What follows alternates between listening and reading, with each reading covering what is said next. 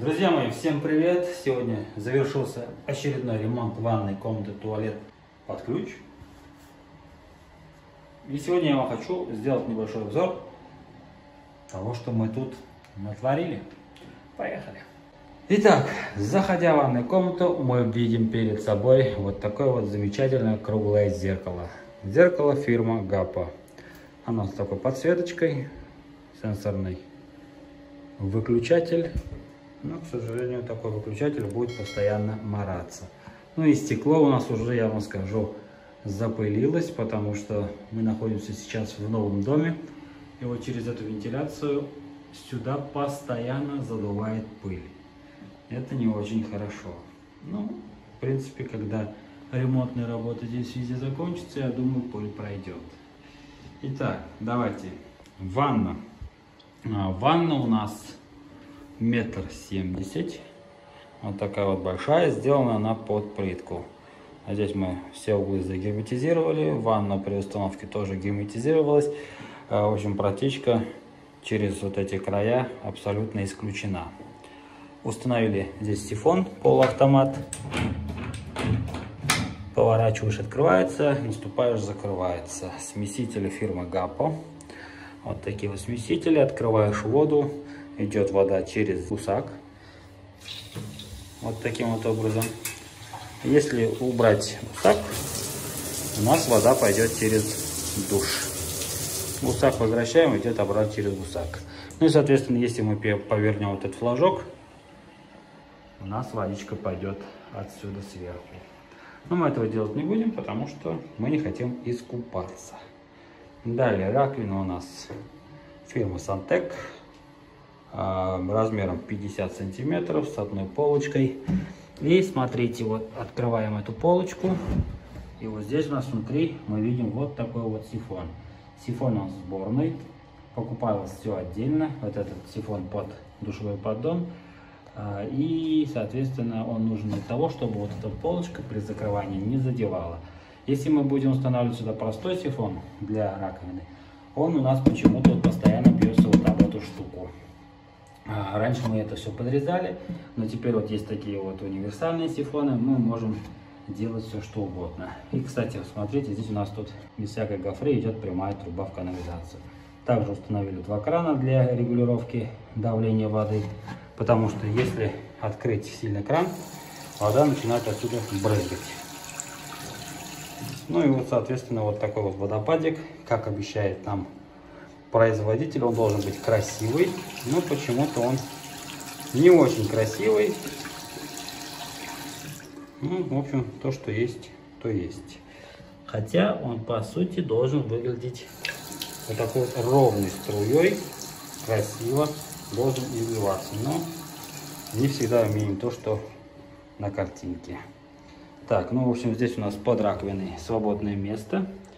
Это свободное место можно спокойно протирать. Обратите внимание, ни одной трубы по наружке не идет. Здесь у нас монолит, но мы его заштробили. Заштробили трубу, которая уходит под ванну. И также она идет на кухню. И сюда вот под раковину тоже мы все заштробили. Все у нас скрыто. Так, здесь это, кстати, смотрите, вот. Многие сделали бы здесь запил с под 45, но мы здесь установили уголок.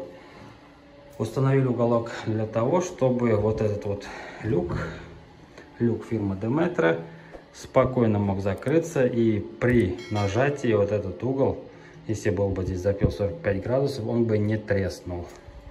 Ну вот у нас сейчас он спокойно может закрыться. Вот, закрыли, все, люк невидимка. Далее здесь у нас установлен электрический полотенцесушитель. Мы изначально сразу отказались от водяного, так как решили сделать здесь электрический, чтобы избежать всевозможных подтеков.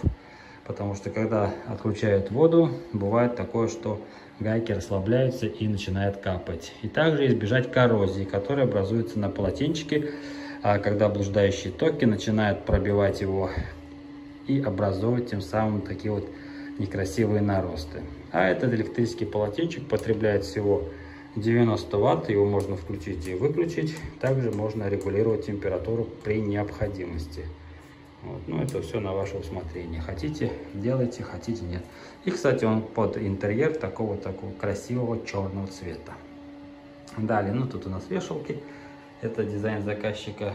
Здесь у нас розетка под э, стиралку. Здесь кран, слив, бумагодержатель. И вот здесь вот в углу спрятался у нас гигиенический душ фирмы Гапа. Тоже черного цвета. Так, если мы откроем здесь у нас унитаз, возьмем наш гигиенический душ, откроем его и можем спокойно пользоваться. Потом закрываем и убираем. Так, кстати, заметить хотел, что а, гигиенический душ можно устанавливать в заднюю часть унитаза, чтобы он не мешался нигде вот здесь. Но бумагодержатель всегда должен быть впереди, потому что крайне неудобно бумагу брать где-то оттуда сзади, искать ее постоянно тоже неудобно. Ну а здесь у нас установлена инсталляция фирмы Гроя, пневматическая кнопка, бесшумный слив и такой вот унитаз с микролифтом для сидушки. Далее здесь у нас более 30 литров фирмы Termex. Вот у нас тут надпись. А далее все как у застройщика, редукторы давления, счетчики, тут обратные клапана, потому что у нас есть полер и гигиенический душ. Также вот с бойлера идет слив. Я всегда делаю сразу инсталляцию, для того, чтобы избежать всяких там а, выходов в канализационные стояки. Так, ну и вот тут пожарный шланг от застройщика. Так, ну вот, в общем, такой вот небольшой обзор нашего тут изделия. Что мы тут сотворили, натворили, вытворили. Кстати, обратите внимание, здесь у нас экран под ванну выполнен не из плитки. Я не люблю делать экран из плитки, так как это не очень практично. А очень много пустого места пропадает под ванной. Ну а в случае необходимости здесь можно экран просто сдернуть, что-нибудь засунуть под ванну, сделать ревизию спокойно, без всяких там проблем. Ну и обратно установить экран на место. Вот. Ну и потолок натяжной, соответственно, здесь тоже белоглянец, 5 точных светильников, ну и плитка на стенах и на полу, керамогранит, керамораца 60 на 60. Черный цвет, затирка здесь у нас а, серая, темно-серая, ну и, соответственно, герметик по углам тоже. Вот все, все, что я хотел вам сказать, показать, рассказать. Обзор закончен. Ну, все. Всем спасибо за внимание. До новых встреч. Пока-пока.